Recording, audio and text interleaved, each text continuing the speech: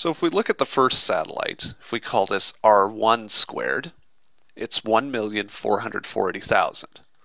So R1 is just the square root of this. If we take the square root on the calculator, we get that R1 is just 1200. So the orbiting radius of the first satellite is 1200. For the second satellite, R2 squared is 2,890,000. So R2 is just the square root. So R2 is 1700.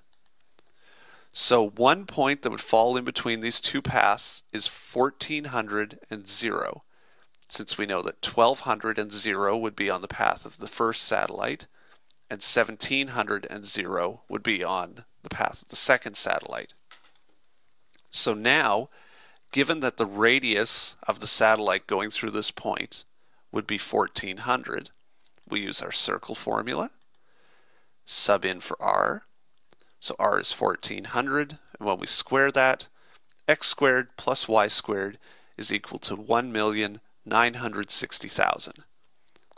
So therefore, the equation that would model the path of the satellite passing through this point, 1400 and 0, is x squared plus y squared equals 1,960,000.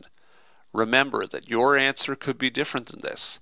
You could pick any number that falls between 1,200 and 1,700 as long as you substitute that value in for r in order to get your own satellite equation.